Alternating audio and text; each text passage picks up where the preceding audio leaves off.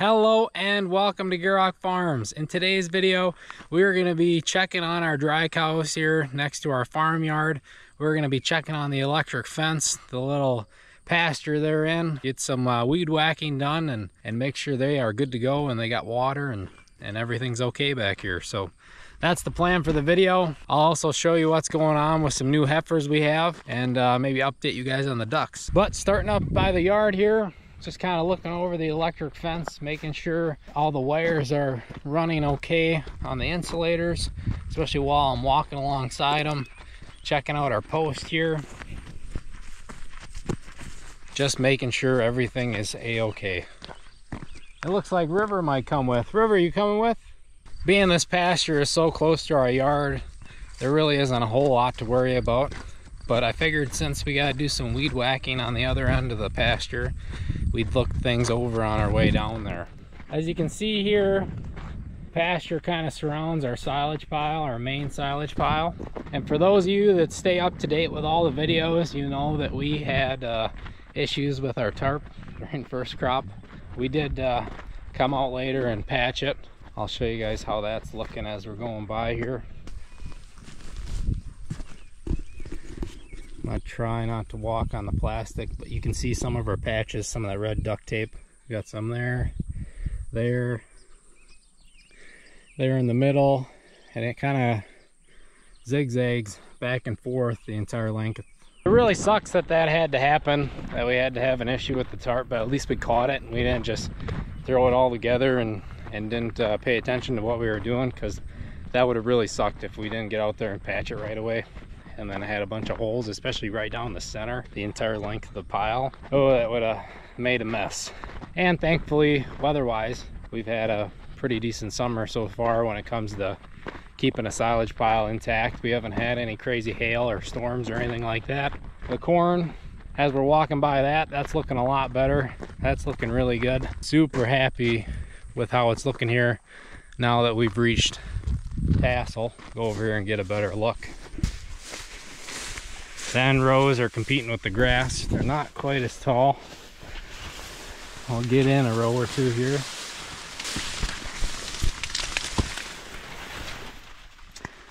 And I think with such a dry start to the year, our residuals didn't quite kick in like they were supposed to, and it wasn't able to control our weeds quite as well. But our corn beat it to canopy, so it's kind of doing its own job now when it comes to weed control. Tassel's looking good. By now our cobs should be pollinated, or at least most of them. Looking at the silks here, we got a couple still turning. Super happy that we're starting to get rain now. And now that I'm towards the other end here, it really doesn't need it, but since it's along our driveway, I'm gonna whack down a couple weeds here along the length of our driveways.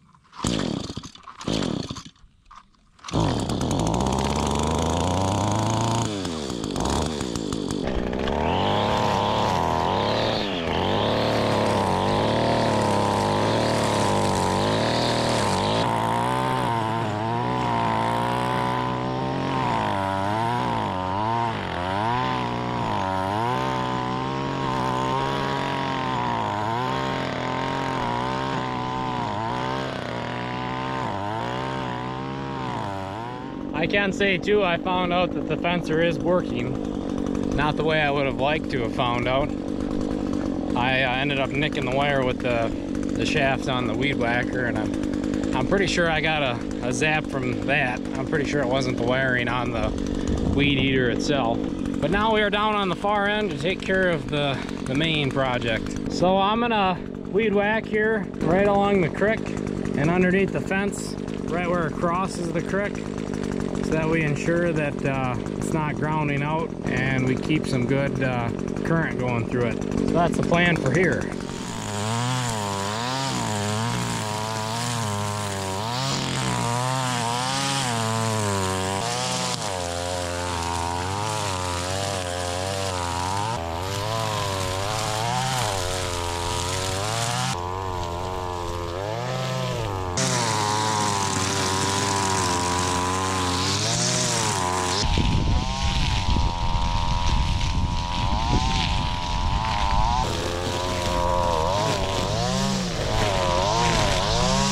I'm down here, I can show you how this field's doing.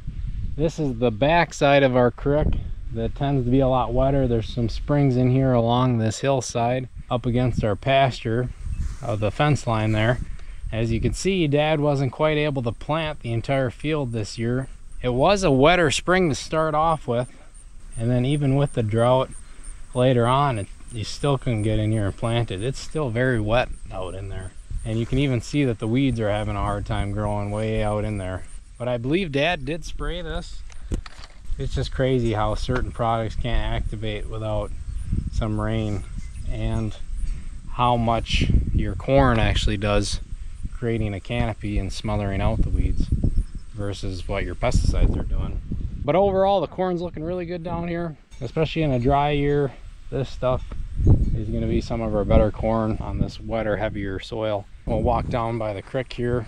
That's looking really good down here. It's crazy how much the creek becomes a jungle. Just look at way down in there. Just thick. I couldn't imagine trying to keep up all that, especially with these steeper banks. As you can see here, where dad can get in with the tractor and the brush hog, he tries to mow down the banks, especially where the cows are. So if they wanted to, they could get in there and drink. The creek's looking really nice. It hasn't dried up. There's plenty of springs upstream from here. So I think if it ever was to dry up, we'd have problems. But it looks like the dry cows are up here under the shade tree. So we'll go take a look at them and make sure they're doing okay. So here we are up under the nice shade tree, the nice little apple tree along the fence line here. And the apples are looking surprisingly well. They're starting to come in. I think now with this moisture we've been getting late in the summer here, I think they'll fill out nice. They'll probably be a really rich apple. But anyways, we got four dry cows in here. We have the two brown Swiss, or at least this girl, she's a, a brown Swiss Jersey cross. I believe she's on her third calf, number 100. You guys should remember her from that brown Swiss video we made. She is on her, I believe this is gonna be her ninth calf. She's gonna have She's already had eight calves, seven lactations, so she had a set of twins in there. And she is, she's getting to be up there in age. She's getting to be quite old. It's sad to say, but I don't think uh, she'll have too many more calves here on the farm. And then we got the two Holsteins in here. I believe the one's on her, I believe they're both around that fourth or fifth calf. They both look really good too. They all seem pretty happy and content up here. I am sure the camera's picking it up. It is kind of a windier spot up there, so they get a nice cool breeze and they're in the shade. The only downside is then uh, being in the shade, all congregated under a tree like that. As you see, they kind of beat up the ground, then the, the flies kind of get after them. It's uh, comfortable other than the flies. Super happy to see that they're all doing good. We just put them in here, I want to say a week ago. I helped dad bring them over here a nice little cattle drive. It was funny when we were moving them, there was uh, six or seven switch cows that were also in the barnyard and we moved them before we let the rest of the milking herd out to pasture. And those switch cows thought we were bringing them to some new pasture. So they followed us here and got real excited and ran through the gate thinking they were getting some new fresh grass. So that was uh, kind of neat to see that they were trained in that well to do that.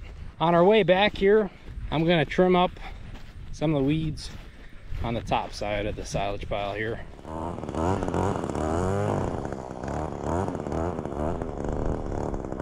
Weed whacking I wanted to do in that pasture is finished. Along the silage pile there, I tried not to get too carried away. Didn't want to accidentally fling a rock or a big stem or something, a big stalk from a weed into the, the tarp cutting it or anything. So took it pretty easy under there, just clipping the tops off of weeds. Happy to see all those cows are doing okay. This pasture, we do this every year after first crop, fence it off and let some dry cows in there for the rest of the summer. This year it was a little later due to the drier summer. That pasture is normally for our older dry cows instead of sending them up to the back 80.